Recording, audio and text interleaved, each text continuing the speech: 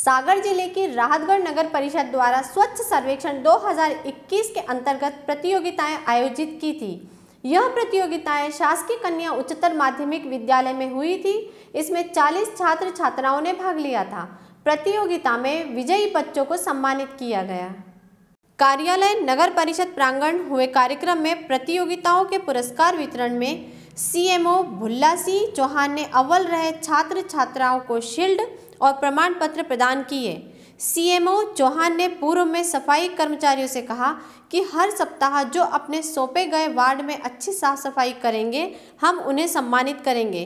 इस मौके पर दो सफ़ाई कर्मचारियों को शील्ड और प्रमाण पत्र देकर सम्मानित किया गया।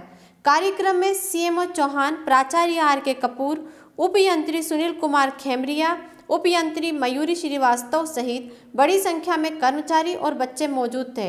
सागर राहतगढ़ से सलमान कुरैशी की रिपोर्ट।